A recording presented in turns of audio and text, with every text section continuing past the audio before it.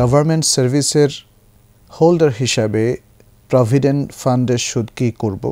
এটা তো আমাদের জন্য ম্যান্ডেটরি অর্থাৎ এটা নেওয়া আমাদের জন্য ম্যান্ডেটরি প্রথম কথা হচ্ছে পিএফ ফান্ডে যে টাকাটা জমা হয়, সেটা সুদসহ গ্রহণ করা যাবে কি না এটা নিয়ে বহু আগ থেকে ওলামারা কথা বলেছেন এবং তাদের মধ্যে একটা অংশের উত্তর ছিল হ্যাঁ এটা নেওয়া যাবে কারণ আমাদেরই একটা পোর্শন সেখানে রাখা হয়েছে এবং তারপরে সেটাকে সরকার ইনভেস্ট করেছে, এরপরে একসাথে দিয়েছে। মাঝখানের বিষয়গুলো তো আমরা অতটা অবহিত নই। অনেক আগেই ভারতীয় কিছু আলেম এবং বাংলাদেশের বেশ কিছু আলেম এরকমই মত ব্যক্ত করেছিলেন। কিন্তু আমরা এখন খুব স্পষ্টভাবে জানি পিএফ ফান্ডে যখন বেতন থেকে টেন পার্সেন্ট বাধ্যতামূলক কাটা হয়, তার দুটো অপশন থাকে, কেউ ইন্টারেস্ট নিতে পারেন অথবা বন্ধ করতে পারেন। সেক্ষেত্রে ইন্টারেস্ট বন্ধ করে দেওয়াটা ভালো। আর যদি এমন হয় যে ইন্টারেস্ট বন্ধ করার কোনো সিস্টেম নেই, এটা চলতেই থাকবে এবং যখন ব্যক্তি অবসরে যাবে তখন তাকে পুরোটাই দেওয়া হবে। এবং এখানে স্পষ্টভাবে প্রতি বছর স্টেটমেন্টে যেমন এবং বছরের শেষেও বা অবসর গ্রহণের সময়ও কিন্তু স্পষ্ট করে বলে দেওয়া হবে যে এটা হচ্ছে মূল অংশ আর এটা হচ্ছে সুদ। যেটা চক্রবৃদ্ধি হারে সুদের মধ্য দিয়ে অর্জিত হয়েছে যখন একটা চাকরির একটা জমানো টাকা স্পষ্ট করে বলাই হবে এটা সুদ এবং সুদের টাকাটাও আলাদা করে চিহ্নিত করা হবে, তখন আসলে এটা বুদ্ধিমানের কাজ নয় যে সে সুদটাকে আমরা কনজিউম করব। আমরা জানি যে সুদ ইসলামে নিষিদ্ধ এবং এ থেকে উপার্জিত টাকাটা এটা আমাদের জন্য হারাম ইনকাম বা হারাম উপার্জন হিসাবে গণ্য হবে। অতএব আজকের এই পিএফ ফান্ডের যেহেতু স্টেটমেন্টটা ক্লিয়ারলি আমাদের কাছে আছে এবং আসছে এবং বলেও দেওয়া হচ্ছে, চিহ্নিত করে দেওয়া হচ্ছে কোনটা সুদ কোনটা আসল, ফলে আজকে ওলামাই কেরামের মধ্যে বিজ্ঞ এবং সচেতন ওলামাই কেরাম অনেকেই মনে করেন যে এই সুদটা গ্রহণ করা আমাদের জন্য জায়েজ হবে না। সেক্ষেত্রে যদি এই উপার্জিত টাকা আমাদের হাতে এসেই পড়ে তাহলে যেটা হারামভাবে উপার্জিত হয়েছে, সেই টাকাগুলো যে খাতগুলোতে ব্যয় করতে হবে, এটাও সেই খাতে ব্যয় করা হবে। যেমন জনকল্যাণে জনকল্যাণে বলতে যেমন রাস্তাঘাট, কালভার্ট বাথরুম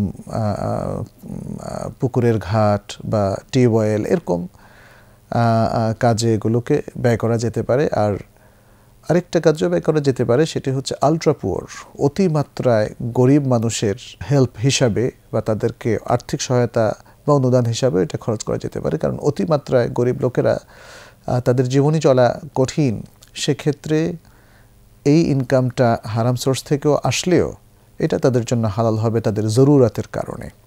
তার মানে হচ্ছে শেষ কথা হলো, এই টাকাটা আমাদের উচিত হবে জনকল্যাণে ব্যয় করে দেওয়া। সেই সাথে আমি পরামর্শ রাখব কর্তৃপক্ষের কাছে যারা এই পিএফ ফান্ডটা পরিচালনা করেন যে, যেহেতু আমরা মুসলিম, এটা শুধু আমাদের সেন্টিমেন্টের ব্যাপার না, এটা শুধু আমাদের আবেগের ব্যাপার না। আল কোরআনের মধ্যে চারটা সুরাতে কঠিনভাবে সুদকে নিষেধ করা হয়েছে।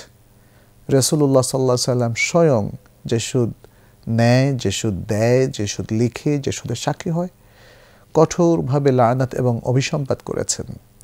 তাহলে এই কাজটা কেন আমরা করতে যাব? আমরা অনেক কষ্টার্জিত যে পয়সাটা জমা রাখি পিএফ ফান্ডে, সেটার সেরিয়া ভিত্তিক যদি কোনো একটা ইনভেস্টমেন্ট বা বিনিয়োগ আবিষ্কার করা যায়, তাহলে যে প্রফিটটা আসবে, সেটা আমাদের সবার জন্য হালাল হবে।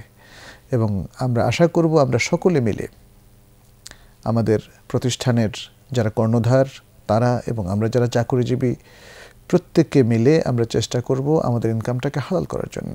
প্রাণান্তকর চেষ্টা করব। আমাদের পলিসি সেভাবে মেক করা হবে এবং আমাদের বিনিয়োগটা, বিনিয়োগ নীতিমালা সেভাবে করা হবে। তাহলে মুসলিম সোসাইটিতে মুসলিমরা হালাল ইনকামের উপরে এবং হালাল খাওয়ার উপরে জীবন ধারণ করতে পারবে। এটা খুব গুরুত্বপূর্ণ ইস্যু আমাদের জন্য। তবে যতক্ষণ পর্যন্ত না সেটা হচ্ছে, ততক্ষণ পর্যন্ত সচেতন, মোত্তাকি মুসলিম অবশ্যই সুদের ইনকামটাকে অ্যাভয়েড করবেন।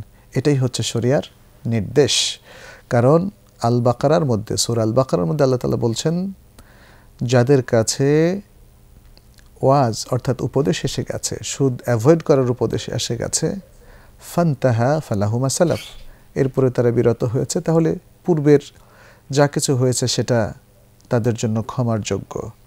কিন্তু যারা তা থেকে বিরত হবে না, তারা জাহান নামের অধিবাসী হবে। এটা অত্যন্ত বড় ধরনের ধমক এবং এর ফলে আমরা কিন্তু হারামিন ক্যামের মধ্যেই সম্পৃক্ত হয়ে যাব। আল্লাহ আমাদের তা থেকে রক্ষা করুন।